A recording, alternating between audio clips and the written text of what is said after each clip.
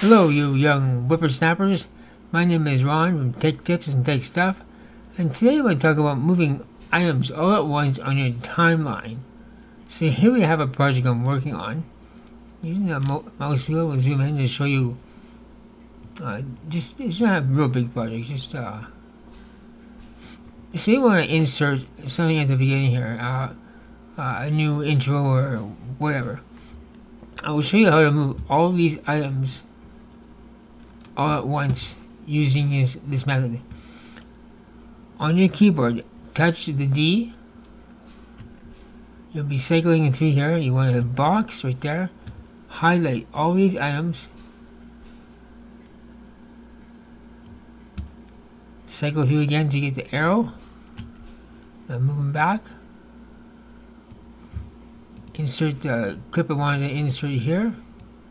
So I want to insert uh, uh, channel, uh, intro or something. So let's put it back. Hello, you young whippersnappers. My name is Ron, and welcome to Tech Tips and Tech Stuff. So that's going to be my new intro. So now we have to move all these back now. So using the scroll mouse, zoom all the way out, cycle through the, pushing the D key on the keyboard until you get this square. Once again, grab, highlight, and grab all these items. Cycle through till you hit the arrow. Just drag it and meet up at the very beginning. So it looks something like this. Hello, you young whippersnappers. My name is Ron, and welcome to Tech Tips and Tech Stuff. So it makes moving items very, very easy in Vegas.